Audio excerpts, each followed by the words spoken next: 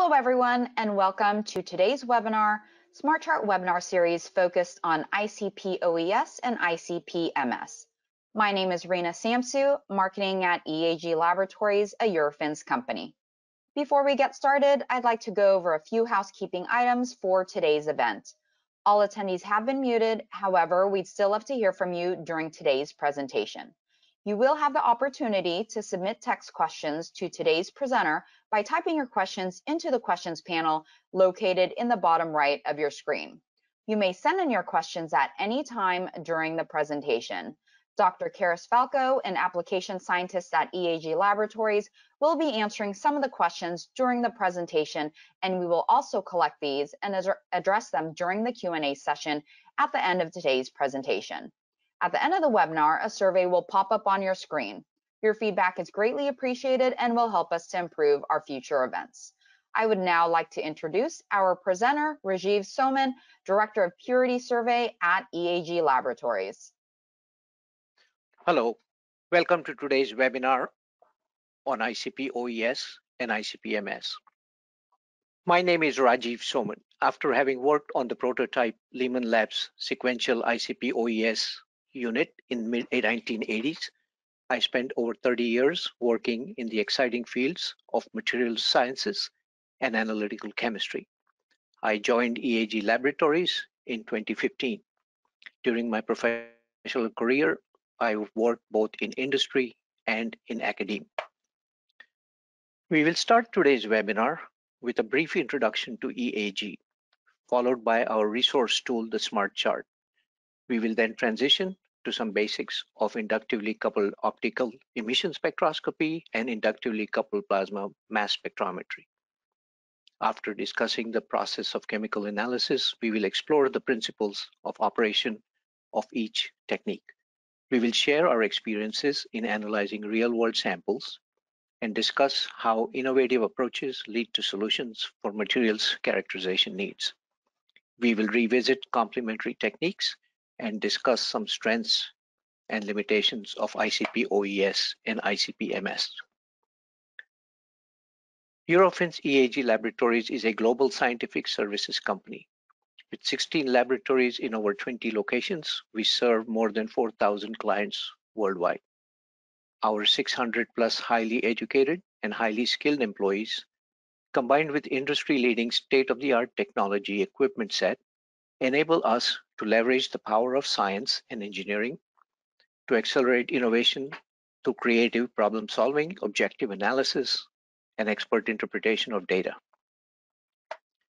We have a global ICP footprint with facilities in five locations and across three continents.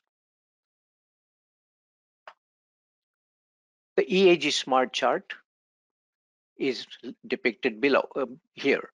It offers a concise visual reference tool for comparing analytical techniques, permitting one to compare detection limits and analytical resolution for numerous materials characterization techniques that include evaluation of surfaces, purity surveys, and more. Each bubble or bar represents a different analytical technique. Surface analysis techniques are represented inside the box, and bulk techniques are represented outside the box to the right. These techniques have a range of detection limit values, but do not provide information regarding depth. Imaging techniques are exhibited below the box. The blue bubbles represent techniques that give elemental information. In this webinar, we will focus on ICP OES and ICP MS as analytical tools in materials characterization. The useful region of ICP OES and ICP MS is listed here to the right. And you can see that the range eh, ex extends from several tens of ppbs to almost 100 atomic percent by weight. Our ICP teams at five locations comprise of many scientists and experts with decades of experience in method development and validation and sample digestion strategies. Syracuse site is the leading technical hub for ICP-based chemical analyses. ICP OES and ICP MS instruments in Syracuse include various configurations, and collectively, they expand our materials characterization capabilities. Let us take a look at some of the drivers in materials characterization. Several key needs that drive this technology include the ever-increasing regulatory compliance needs and the supply chain test, testing and purity certification. Impurities play a major role in the life cycle performance of materials. There is a compelling need to understand the material, leading to the information versus data paradigm. During this webinar, we will explore how ICP OES and ICP-MS can provide useful solutions once combined with innovative sample preparation strategies. Our innovative approaches to problem solving are key to solving commercial challenges from concept through commercialization, as highlighted in this flow chart. Client success requires control and optimization during all steps of this flow chart, starting from research and development all the way through field failure analysis. EAG provides the knowledge and the appropriate tools for client success. ICP OES and ICP MS play a critical uh, role in the application areas that range from environmental, food and beverage testing to the bulk chemical analyses of high performance materials for accurate and precise determination of major, minor, and trace elements. At EAG, we have a comprehensive approach to problem solving and developing the analytical process. Key process steps are depicted here. The analytical process leads to an in-house developed standard protocol. Digestion strategies are developed for different samples, coupled with coupled with method validation procedures in accordance with ASTM guidance. We develop in-house standard protocols that are consistent with quality requirements. Our accreditations and certifications include ISO 9001, ISO 17025, NADCAP, and GE S400. We will take a further look at some portions of this process. Regardless of sample preparation strategies chosen, it is important to adopt criteria during the method development phase. A number of important criteria should be considered, and they should include incorporation of internal standards, traceability of standards, spike recoveries, and two sources of independent QC recovery checks. These criteria are valid, vital to the development of in-house validated SOPs. A number of parameters for instrument performance criteria should be considered, and they are listed here. The figures of merit listed are key to evaluating any analytical instrumental technique. These include linear dynamic range estimation all the way to the robustness of the technique. Accuracy and precision are cornerstones in evaluating an analytical technique. As such, every step must be taken during the planning and execution phase. This will result superior figures of merit. Ideally, one would like to be in this quadrant where we have a high degree of accuracy and high degree of precision. Although ICP OES and MS are considered different analytical techniques due to the differences in how they measure elemental concentrations, they in fact share many common features. They are both referred to as solutions-based in that solid samples need to be converted to, into a solution prior to elemental analysis. This field has grown exponentially and has matured into a universally accepted analytical technique for bulk chemical analyses. This is evidenced by more than 10 major instrument manufacturers. Numeral, numerous hardware and software enhancements have been made over the years. We work closely with instrument manufacturers to improve existing capabilities. This webinar will not discuss the various instrument configurations. Rather, we will emphasize on the often overlooked yet critical steps of analysis, sample preparation strategies, method development, and validation parameters and developing robust SOPs that yield improved analytical figures of merit. Argon plasma is defined or described in literature as an electrical conducting mixture containing a significant concentration of cations and anions, the net charge approaching zero. Argon ions once formed in the plasma are capable of absorbing sufficient power from an external source to maintain the temperature level at which further ionization sustains the plasma. Effective introduction of sample analyte into the high temperature zone of the plasma, relatively long residence times within the plasma, and higher attainable temperatures are critical to plasma emission spectroscopic measurements. Plasmas are also considered to be clean when compared to combustion flames. A number of excitation processes occur within the argon plasma and they are listed here. These are some of the mechanisms through which energy exchange occurs between various species in plasma discharge. A schematic of a typical inductively coupled plasma is optical emission spectrometer is shown here. The sample solution is introduced with a peristaltic pump into a spray chamber with the help of a nebulizer. A portion of the aerosol from the spray chamber makes its way into the core of the argon plasma through an injector tube. Within the core of the plasma, aerosol experiences temperatures of between 4000 to 9000 Kelvin. The aerosol undergoes desolvation, vaporization, atomization, ionization, and excitation. Electromagnetic radiation emitted by the relaxation of excited state atoms and ions is expressed as emission signal intensities. In the radial configuration, plasma is viewed perpendicular to the longitudinal axis and in the axial mode it is viewed end-on. The most critical component of inductively coupled plasma spectroscopies continues to be sample introduction and has been aptly described as the Achilles heel of atomic spectroscopy. A typical output from an OES measurement can be depicted here in form of wavelength versus intensity of the emission signal measurements. The signal observed at a given wavelength is characteristic of the identity of the element and the magnitude of the intensity of emission signal is a quantitative measure of the concentration of the element.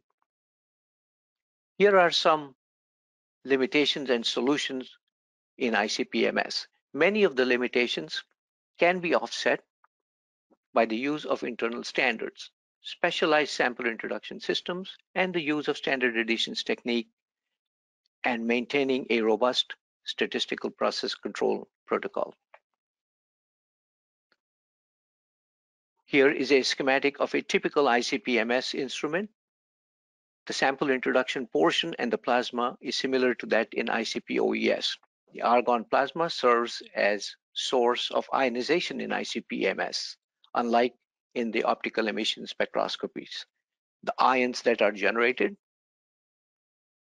in the plasma are accelerated into the mass analyzer through an interface Several instrument configurations are commercially available and they include types of reaction cells, number of quadrupole units in the analyzer, and types of interfaces. A typical output from an ICP-MS instrument is depicted here with mass to charge ratios on the x-axis and the signal on the y-axis. Typically, one can make measurements in the peak hopping mode it is important to note that the signal obtained is not only indicative of the element concentration and the isotope that is measured, but also one obtains the relative abundance of measured isotopes, which is demonstrated in the lower representation in case of magnesium and silicon. While ICP-MS has isobaric interferences, they can be offset by the monitoring of multiple isotopes and there is the availability of different types of instrument configurations to eliminate interferences. use of several internal standards and long-term statistical process control protocols mitigate other limitations.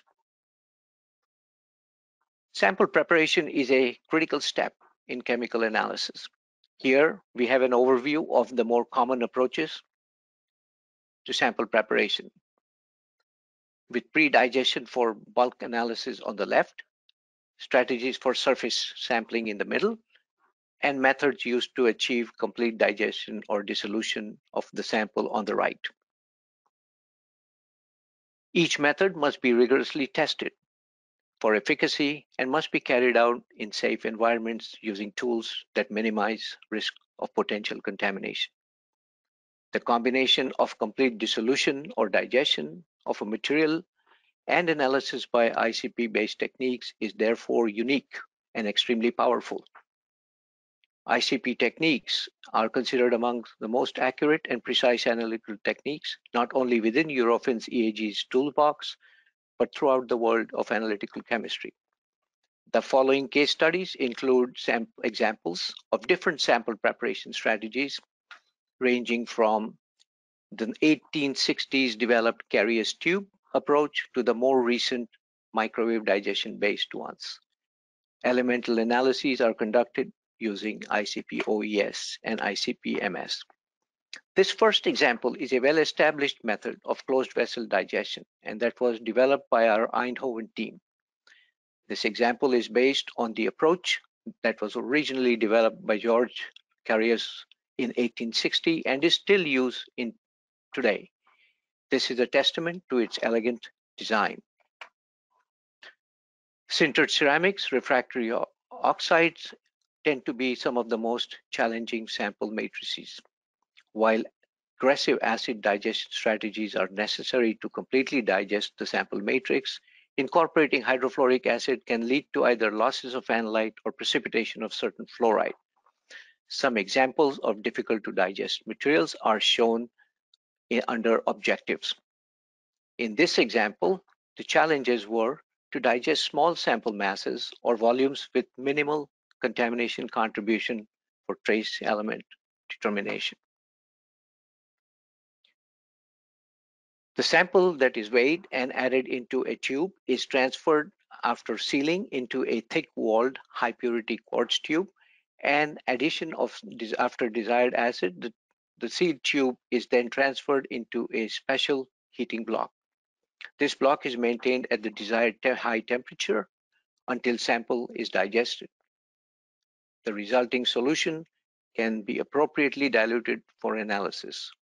This approach has been successfully applied for the complete digestion of LED fluorescent powders. The Carius tube approach can also be used in combination with gravimetry to determine halogens and sulfur in organic compounds. The next case study addresses the need to serve a compliance requirement in the pharmaceutical industry and provides a solution to challenges in effective and complete sample digestion. The case study addresses the goal of the USP 232-233 criteria. High pressure digestion strategies in a pressurized microwave cavity can be used for the digestion of some organics and alloys. This has shown to be effective for complete digestion of many organics. The top photograph shows an attempt at digesting a sample at lower temperatures. While the contents upon dilution might appear clear, centrifuging the solution indicates a presence of some undigested components. The slide also shows the successful digestion of crude waste as ex exhibited by the, the photographs in the bottom of the slide. Three samples were evaluated and they include environmental crude waste and some oil samples. The, the photograph on the right exhibits a, a, a coloration after complete digestion. This blue-green coloration is due to the presence of high copper, chromium, and iron in the sludge samples.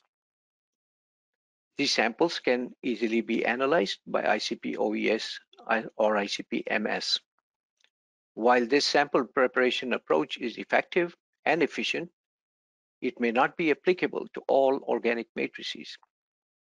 The aliphatic skeletons of some polymers and biopolymers are often hydrolytic and oxidative resistant. They can carbonize at elevated temperature in the absence of an oxidative atmosphere and can lead to residual carbon. For such matrices, incorporating a closed vessel microwave induced combustion technique can be employed. The next example demonstrates the application of microwave induced combustion technique for digestion of pharmaceutical samples. The objective here was to develop a generic sample preparation approach for determining elemental impurities in pharmaceutical products.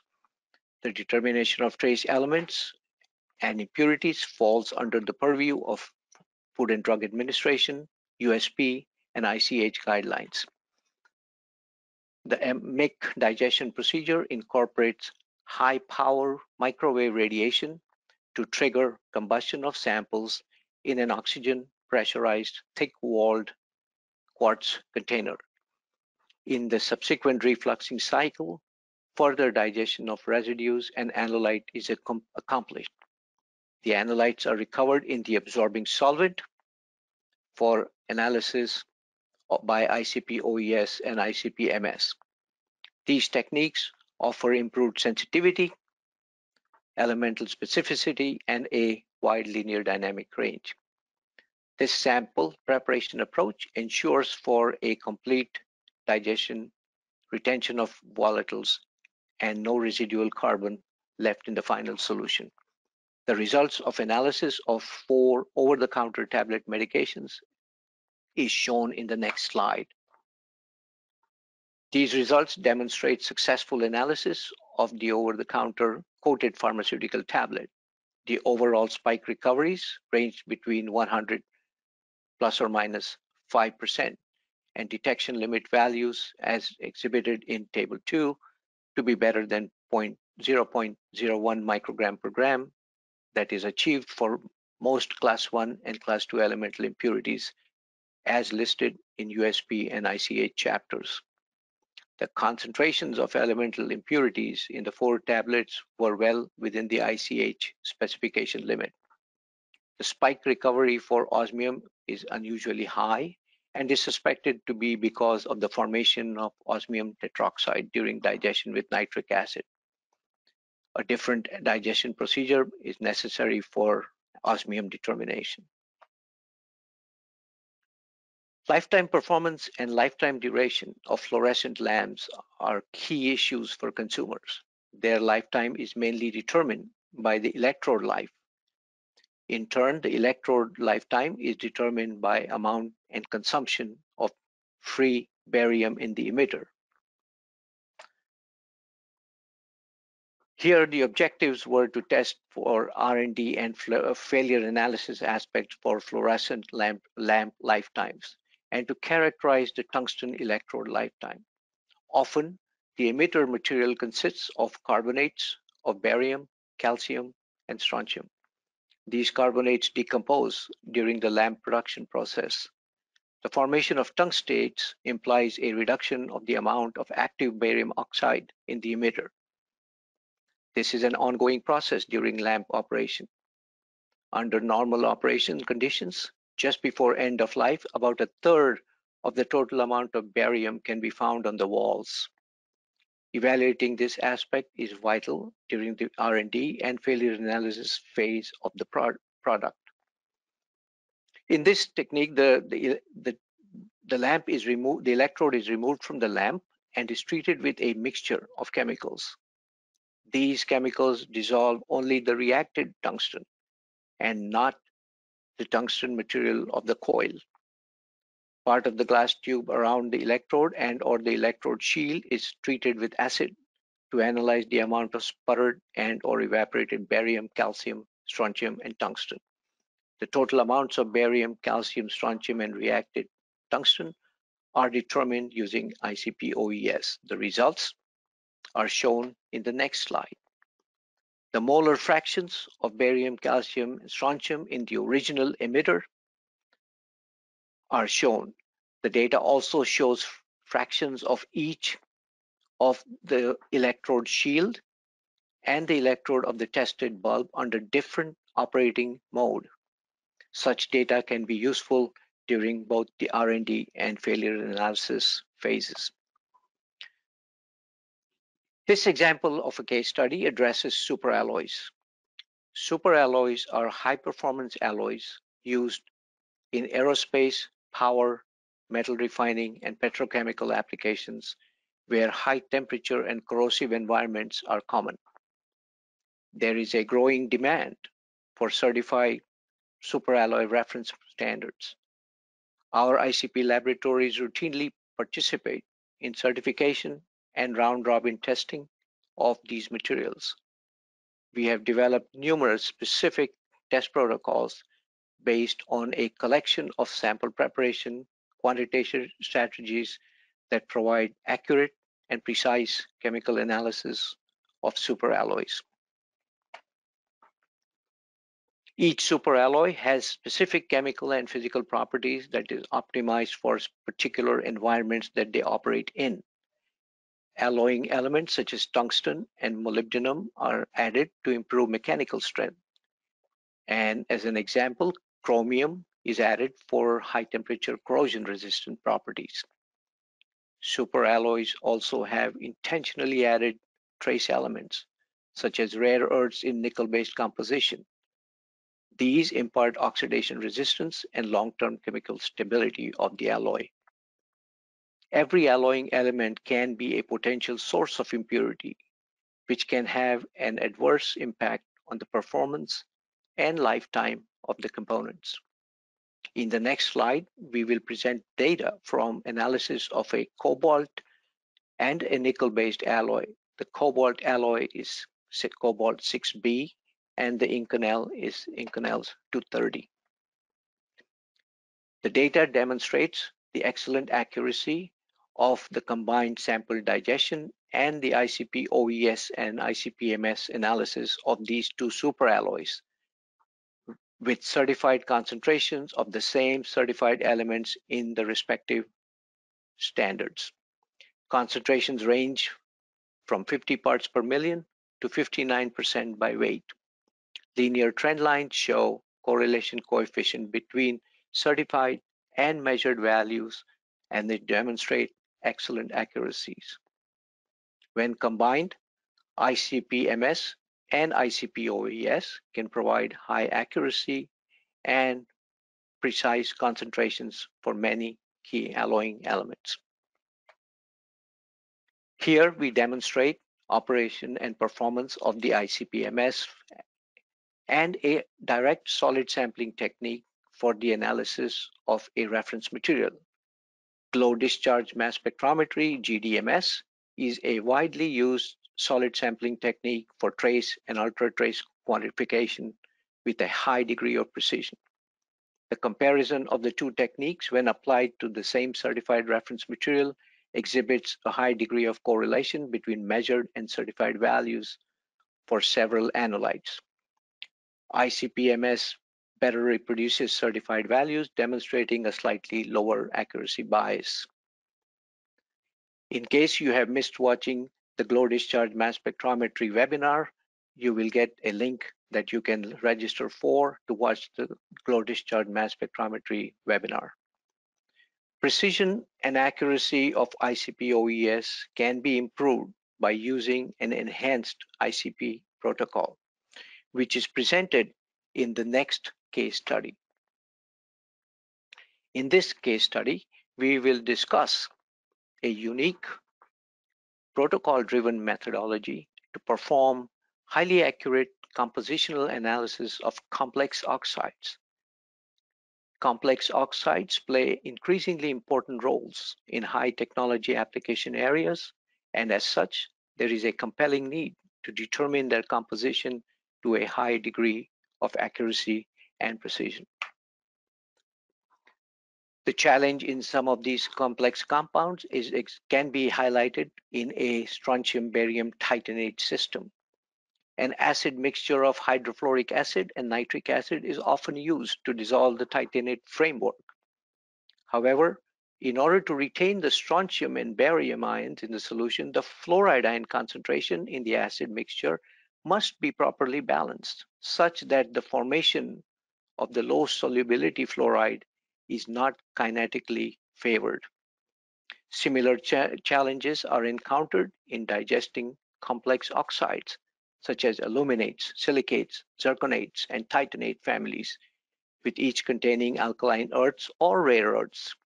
EAG Laboratories has developed specific strategies to address these challenges.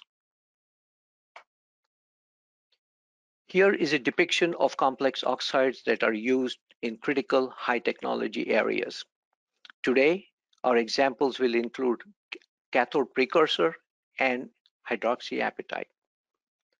Unlike other types of sample, digestion of complex samples is accomplished in two steps. And the first step would could include dilution or dissolution of the matrix, followed by a second step that includes solvation and of the released ions. Aggressive acid digestion can often be necessary, and they could include heating at temperature between 200 and 250 degrees Celsius at pressures of 40 to 80 bar for up to 24 hours to get these materials in solution. Incorporating higher temperatures and pressures have shown to shorten sample digestion times. These conditions enable EAG laboratories to digest some of the most complex materials that are typically difficult to completely digest by other traditional techniques.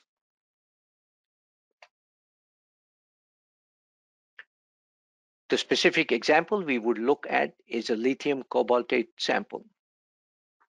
Layered lithium excess transition metal oxides are most important cathode precursors for lithium ion batteries.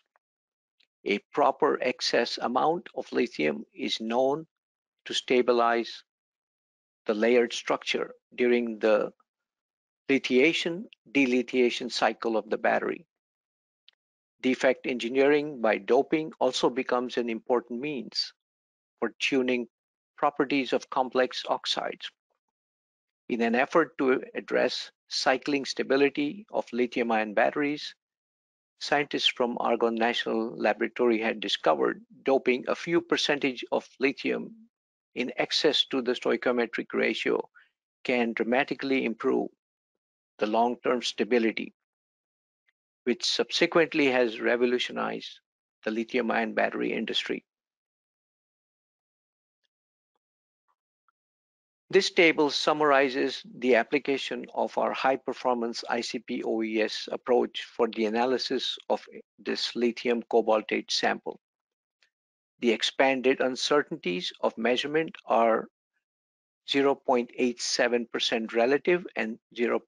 23% relative for lithium and cobalt, respectively.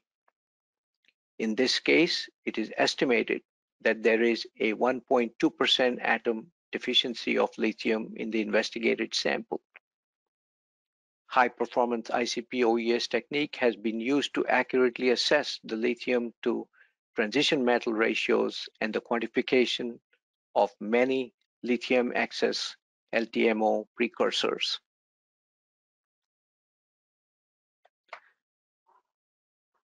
The second example we will take a look at in complex oxides is that of hydroxyapatite. Hydroxyapatite is a primary mineral component of bone and teeth, and it is intended to impart hardness and strength. Structural characterization requirements of hydroxyapatite and beta tricalcium phosphate coatings and powders has been specified in FDA guidance document and various ASTM standards. As bioceramic precursors, the stoichiometric calcium to phosphorus ratio in hydroxyapatite is 1.67, which leads to an overall good mechanical properties in terms of hardness and fracture toughness. In practice, large variation in composition exists And as a matter of fact, hydroxyapatite can be highly non-stoichiometric solid. Thus, it is important to develop methodology that can accurately evaluate calcium to phosphorus ratio. Here is a summary of results obtained for the analysis of hydroxyapatite sample using our high pressure ICP OES approach. The expanded uncertainties for calcium and phosphorus measurements are both within 1% relative at 95% confidence level. Such tight uncertainty of measurement enables rigorous composition checks of calcium to phosphorus ratios of incoming hydroxyapatite and beta tricalcium phosphate feedstocks. In this particular case, the determined calcium to phosphorus ratio is 1.61, indicative of calcium deficiency in this particular lot of hydroxyapatite. Based on the expanded uncertainty values shown in this table, the calcium phosphorus ratio in this sample is statistically different than that found in a stoichiometric composition. A key enabler of high performance ICP OES is the invention of a drift correction procedure that turns out to be a major source of uncertainty in classical ICP OES analyses. Here in this slide, we show an example of the drift pattern over the duration of the determination of lithium in a lithium manganate cathode precursor. During this high performance ICP OES analysis, the fitted equation seen at the top is used to correct for instrument drift at each measurement point during the analysis cycle. The combined uncertainties is calculated by errors from measuring standard reference material solutions, errors contributions from measuring known sample solutions, and those from certified values of standard reference materials. EAG's high performance ICP OES protocol builds on the traditional NIST procedure to further improve the uncertainty of measurement. Exact matching of the analyte ma mass fraction internal standard mass fraction, and matrix match standards is taken into account. A gravimetric approach to determining mass fractions is employed, and multiple replicates, each between 100 to 500 milligrams each, is used during this anal analysis protocol. So let us take a look at standard ICP OES versus the high performance ICP OES approach that is developed on as an enhancement to the NIST approach. There are several advantages of incorporating high performance ICP OES. The main contributions to the higher expanded uncertainties in conventional ICP OES result from several sources and can range between 3 to 5 percent high performance ICP OES protocol narrows the expanded uncertainties to between 0.3 to 1% relative, which is almost an order of magnitude better. All results in our high performance ICP OES measurements are traceable to NIST standards. As a relative method, the protocol involves computing ratios of analytes and the, in the sample and the SRM, each incorporating an internal standard. The mass fraction of the analyte is also computed, and a calibration model is used to determine the composition of the sample. Incorporation of gravimetric approach coupled with internal standard, higher number of replicates, and matrix match standards contributes to the improvement in the expanded uncertainty values. This technique has been successfully employed by EAG laboratories in production control and certification of advanced alloys, sputter targets, and other complex materials. In summary, let us revisit the strengths and challenges of ICP OES and ICP-MS based elemental analysis techniques. While they are universally accepted as bulk chemical analysis techniques for determination of majors, minors, trace, and ultra-trace level elements, and they are also accepted due to the fact that they have a high degree of accuracy and precision. However, two major limitations include the inability of these techniques to provide spatial information of a solid and the difficulty in determining glass forming, gas forming elements.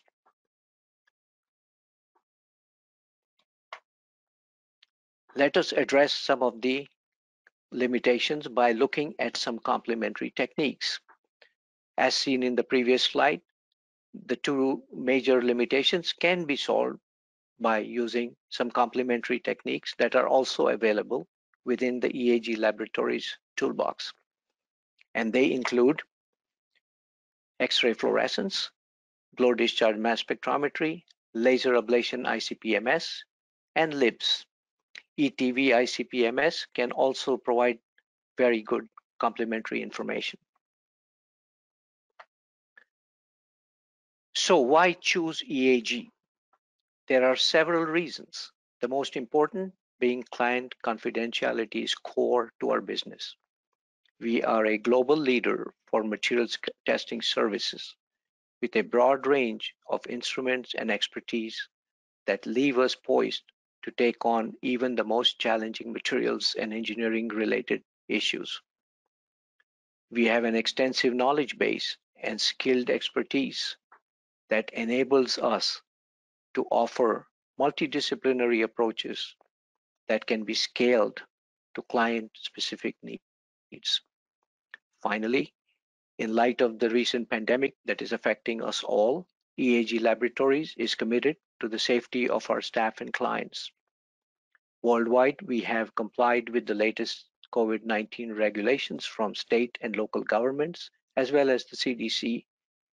All of our locations throughout the world remain open, but we may have some limitations on customer visit. We encourage you to discuss your options with our sales representatives.